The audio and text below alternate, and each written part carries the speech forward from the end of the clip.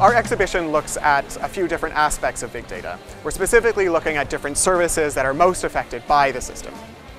So we're looking at Transport for London that's making smarter, uh, smarter cities. We're looking at social media, which is improving how we see humanity. And we're looking at genomics to see how uh, genome sequencing is radically changing how we're viewing healthcare and personalized medicine in the future. So we've worked with Genomics England and Illumina in order to showcase the tools of the trade, the most significant things that are happening right now in genomics. This is the future of healthcare and it's something we really wanted to feature in this exhibition. Um, the idea that you could walk into a GP and get your genome sequenced in order to help with diagnosis in the future is just something so beyond what we could have imagined 20 years ago.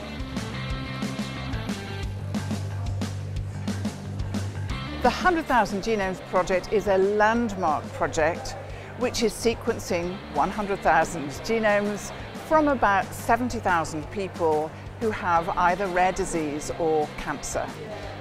And genomes are going to be sequenced and that's through our partnership with Illumina and the sequence data is combined with data about people's medical condition and their lifelong medical records and then all that data is put together and the results help people to understand exactly what diseases are uh, the causes of diseases, but also how to treat them best.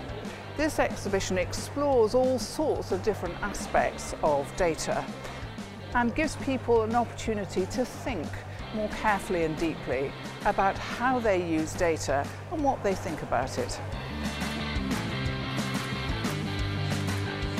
The Illumina HiSeq X system is helping us to unlock the power of the genome and to truly transform healthcare. We're here today in London at the Science Museum and we're delighted to have our cutting edge instrument here in support of Genomics England and the 100,000 Genome Project. The data generated by these instruments will help people with cancer, rare disease, and their family.